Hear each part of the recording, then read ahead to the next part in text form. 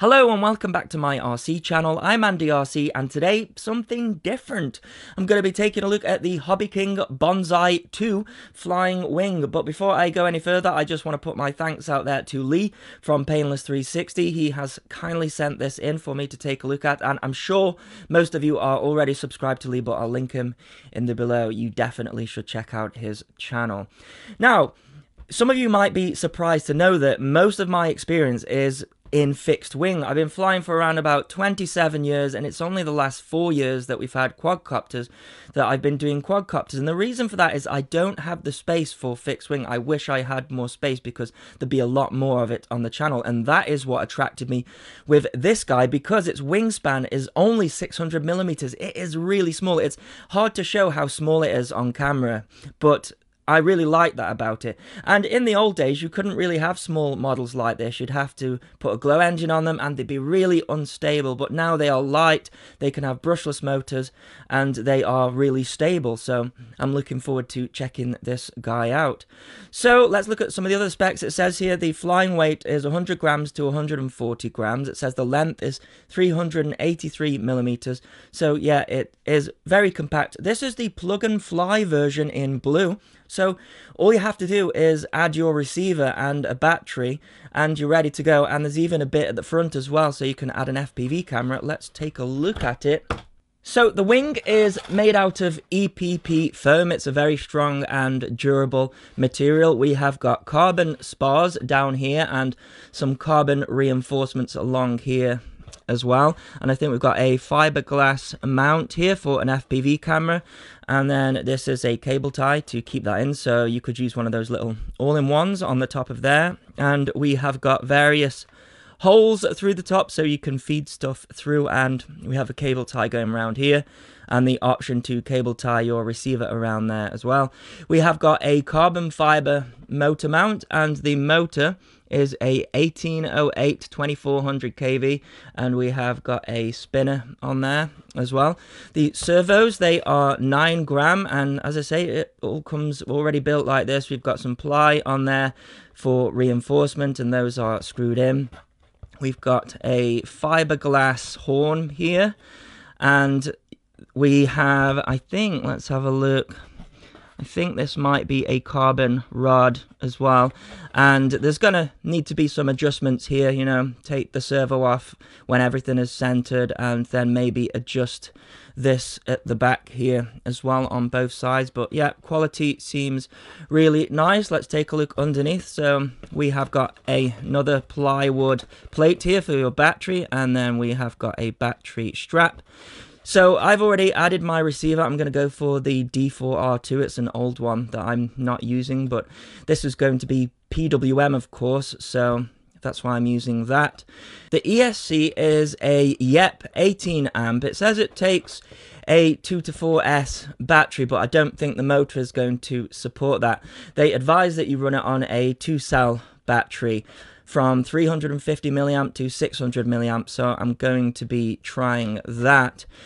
The ESC has a built-in capacitor. You don't really see that anymore, do you, on quadcopters? But it's there on this ESC. And then the ESC has an XT60 connected to it.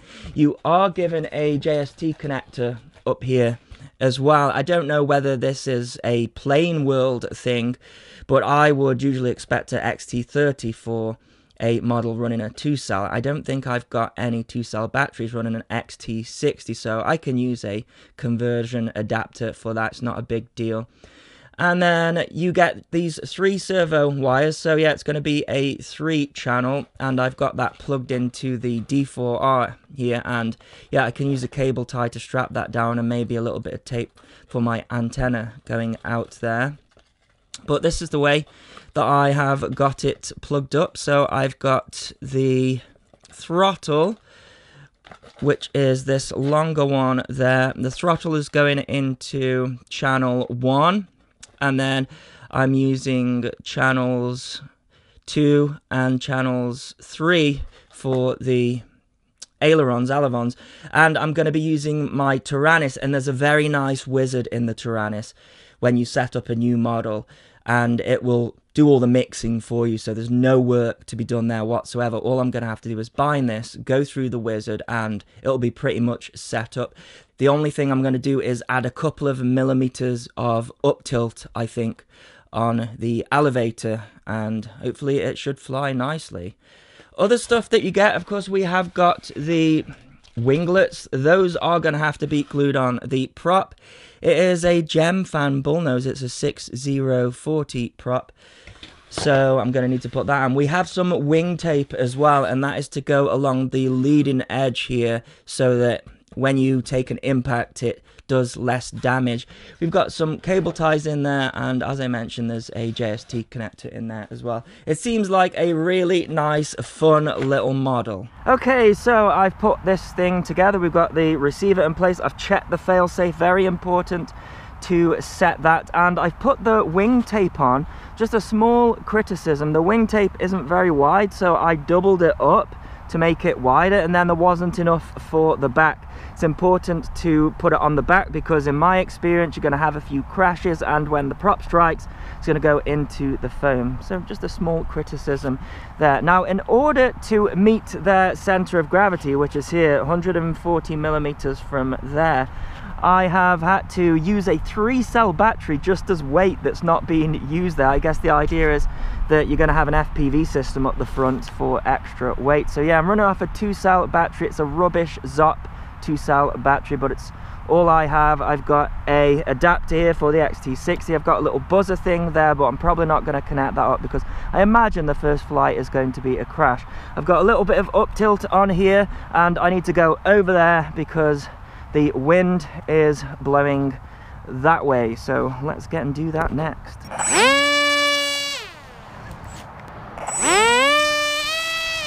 Whoa there she goes. I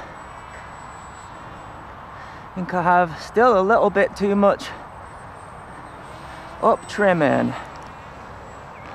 Where's the rudder? Oh man it's getting dark here. It's so windy yeah, I think it's still a little bit tail heavy even with all that stuff at the front. Let's have a look what my trimmer's doing.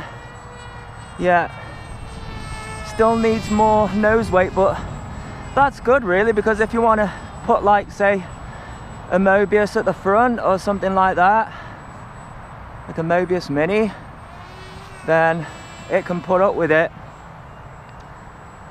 you know 2s and I'm just like not going above 50% throttle. And that's on a windy day. But yeah it's going to be difficult to do a full throttle run and it's raining. Yeah it needs more nose weight.